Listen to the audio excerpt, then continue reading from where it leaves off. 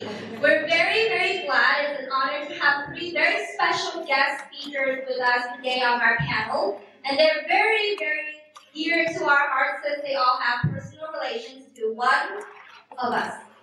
So we have Miss Monica, who is Paula's sister, Miss Farrar, who is a teacher in high school who has taught I think several, Lyle and Paula. Sorry to out you all. And we have Alejandro, who is Hippolito's friend. And they're here to share their unique perspectives about what it feels like to interact with either sibling, a friend, or a student with a visual impairment. So now we're going to get started. My first general question is directed toward all of you. So y'all can take turns, whoever wants to go first. The question is, what was your first impression or first initial thought when you found out that you will have a student, a sibling, or just barely met your friend who is visually impaired?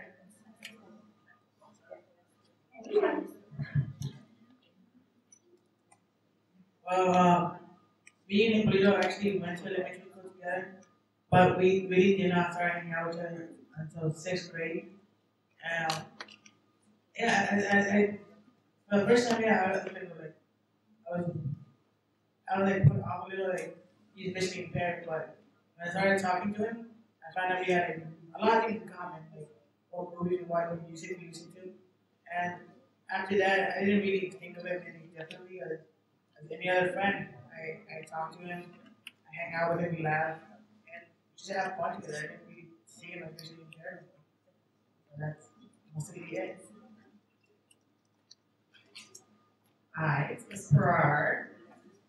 When I first started teaching the visually um, impaired, uh, my first thought was, holy cow, um, how the heck am I going to do this? I have to teach sex ed? What is this? I teach health, so sex ed is part of this, right? So how do I teach the reproductive system? Just like you get the picture. So, that's not. Um, we can know the logistics of this. But I have absolutely, I've fallen in love with all of my students who are, I, I've interacted with over the years. Part of it is a love, and part of it is a frustration of love. Um, the frustration comes not from myself or working with these students, but seeing how other students interact with students who are visually impaired.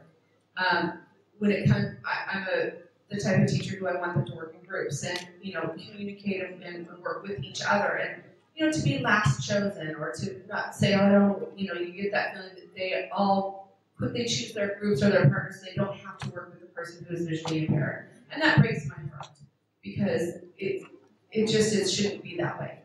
Um, a lot of students assume that because you're visually impaired, and I'm sure a lot of you will understand this, you you're not as smart as they are, you can't hear as well as they do, you're not going to work as hard, and there's a lot of isolation for students who are visually impaired, and that breaks my heart. Absolutely. Absolutely breaks my heart. That thing is so stupid. I can yell loudly. I have a teacher voice. So I think that it's so important for a teacher who has any student with disabilities in their class to educate the class on those students. But unfortunately, then it puts those students with disabilities on the spot, and that can be very embarrassing.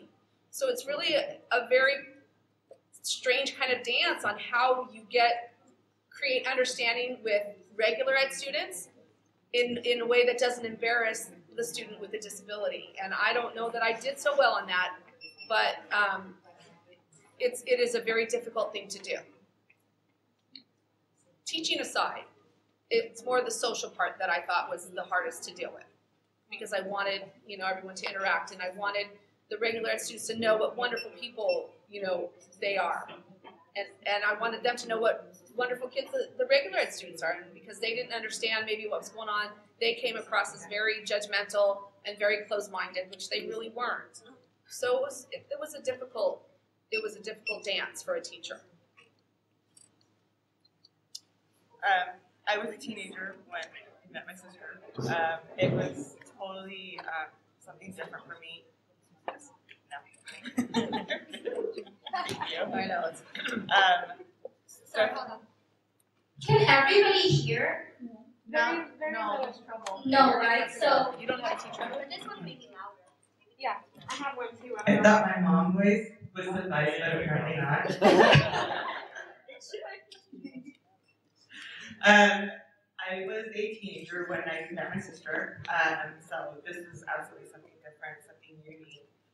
Watching my dad and my stepmom interact with my sister and how they um, were super careful around her, uh, I always kind of stayed back because I just didn't know how to interact with her. Um, it was it was kind of intimidating actually at that point in my life. Um, but getting to know her, um, like you said, um, I guess particularly since she's, she's blind, she's not, she's super smart. Um, love to hear her sing. There's just different things that you start to, you know, what I mean, understand. So. Thank you. So, Ms. Farrar, this question is specifically for you. You kind of briefly touched upon your opinions about integrating visually impaired students with other general education students. And you mentioned some difficulties. What do you think are some strategies that both visually impaired students, teachers, and general education students can utilize to help make the classroom experience a more positive one? Yeah. I know, I love her passion. Isn't she awesome? Ah! I know.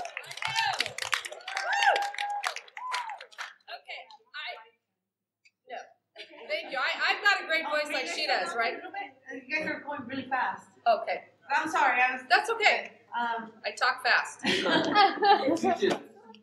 It's, it's, uh, okay, so I think that all levels have to give a little.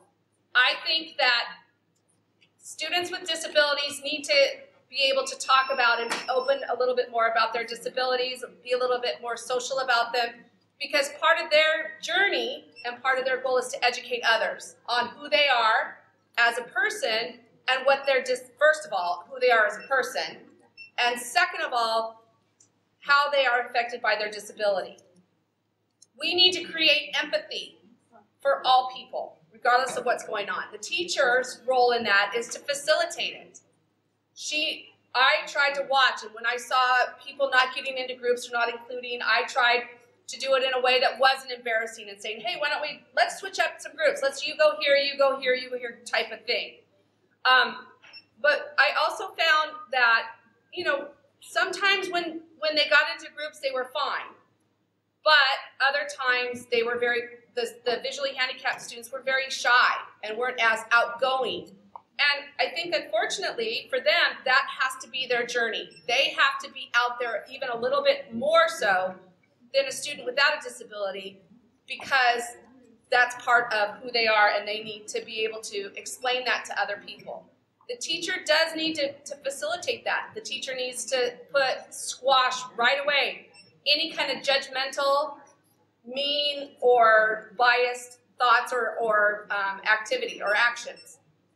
First and foremost, that teacher needs to, to lay down that law and be a um, example of what it's like to work with all types of people. I think that working in groups is wonderful. I love doing group work with my students because, again, you're communicating on a level that's so different than like this, where a teacher stands on the stage and, you know, imparts their wisdom because we have so much. Uh, yeah, thanks. Uh, so I think that it. So I think there's there has to be a give on both sides. I would love to see, I would have loved to have seen Paula be more, let, let me get up and let me go find a group on my own.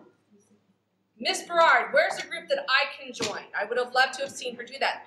And granted, I had her in the ninth grade. She was very young. And that's hard to do.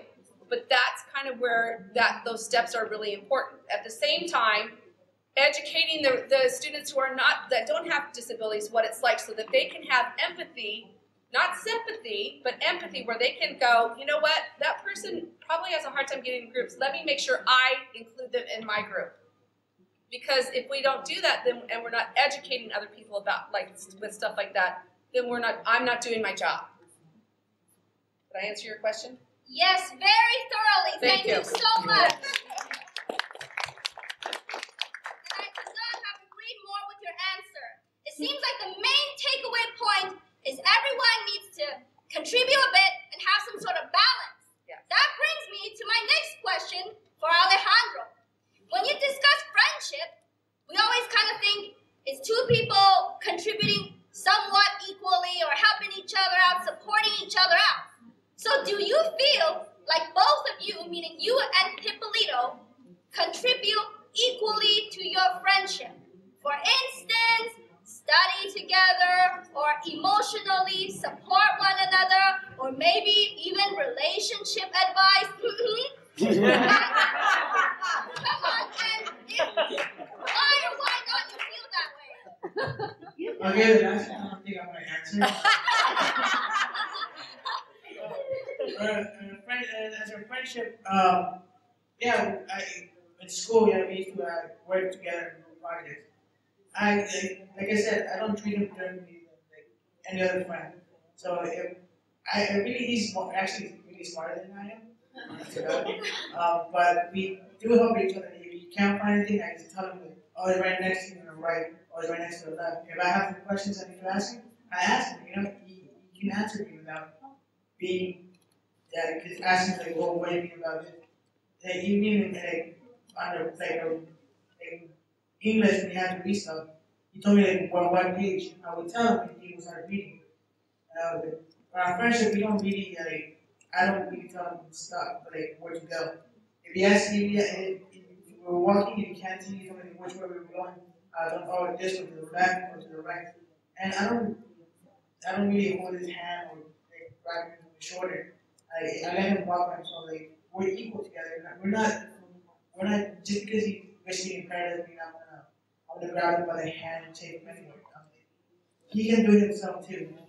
He, he even told myself. He, he even told me like he doesn't really need that much help. And, like, I do help him sometimes. I have him notice me. Like when I'm walking, in like branches on top of the leaf, and the branches like since he's tall, he gets hit by a lot of branches. but I, I usually when I usually just grab the top of the branch and move it up a little, he can walk by. And I, never told, I never tell him like, oh, oh you can get me that like, I grab it and do it. It's it's helpful. You have to help him out in the day. Well, yeah, that's it. Now our friendship is normal, just like a regular friend. I don't have, and I don't treat treat him differently than you can't see. Ah. So respect, knowing what your friend needs help, and when he doesn't want it, let him be. It seems like that's what I'm understanding. And you are his friend, not his mom. Right? Excellent. So now we're going to shift over. Now we're talking about mom. We're going to shift to family. So we have a question from Monica. You mentioned that when you first met your visually impaired sister Paula, she was young and you were a teenager, and that the parents were very careful with her. So, what are some activities that you did when you were little together? And if you didn't do any activities or spend time together, why did you think so?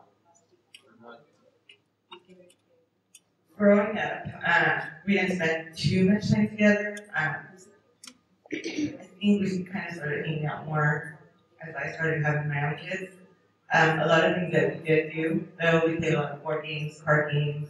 Um, she read a lot of books. I know, like, her do all that, but um, for the most part, it was games, it was card games. And I'm gonna have a follow-up question. You. Thank you. Hey, and that means you didn't talk enough, you know, you know. Since you said most of the activities were board games and other than that, not too much time spent together, if you could do anything you wanted with Paula right now that you haven't done before, what would it be and how would you go about doing that? Uh-oh. She's 21. She's 21. Teaching Paula to drive. Oh. oh my goodness. Maybe one, you want to come up here and contribute some responses I want to take it to a bar. That is, that actually has been quite a few times. Um, They all tried to take her to a bar already. Not during the school system, just a little bit after. Um, I guess something like that, just kind of like to let loose and just kind of um, see her loosen up a little bit and open up and you know, kind of shift away from the parentals and just be sisters. Um, I feel like most of the time we're around the parentals, so um, I think a little time would be awesome. Just anything, anything going through our hair, anything really anything simple. Might have lunch, just talking. Just a little bit more of that. She, I, I'd like to see her do more of that. So maybe there needs to be some time planning after this workshop for Sister Day to go get your hair done or something, right? Oh, um, and is it okay if I ask Jen, Of course, uh, of course. Monica a question? Yeah. Okay, um, Monica, what about having your own kids brought you closer to Paula? Seeing my kids interact with her, trying to educate them, um, in teaching them what I have learned. Um, she's different, but she's not incapable of doing things. Um, so watching her teach them in her own special way, teach her, just like I said, she's super smart and it shows in conversation, um, and just her being around the kids. Okay, great. Thank you so much. Now, before we open it up for public questions and comments, I have one last very important question to ask the panelists. Woo! If there's one piece of advice you would give when interacting with an, in, an individual, sorry, when interacting with an individual with a visual impairment, what would that advice be, and why is this piece of advice so crucial? Um, just what I said, um, don't treat him differently just because you can't see. There are people too, you know. Just act normal around them. That's it. Yeah, for me as a teacher, it was to tease everybody just the same as I taught. You know, I tease and play with my, my all my students, and, and to treat my my students with disabilities exactly the same as I would my students without disabilities. You know, make the accommodations, make the you know help them with their disability to learn, but as far as the interaction, create that sense of normalcy. I agree.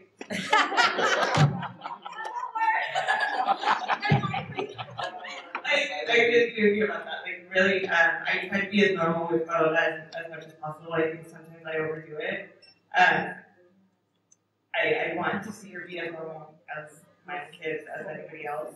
Um, and there are times when I have to step back and realize, okay, this isn't possible. But for the most part, I definitely, I'm all about pushing Paola and her, um, just really challenging herself and stepping up in just different aspects of, of life, period. Thank you so much for the panelists. Thanks to Monica Martinez, Julie Berard, and Alejandro Oliveras for presenting their valuable insight at the Survive or Thrive December 2015 workshop.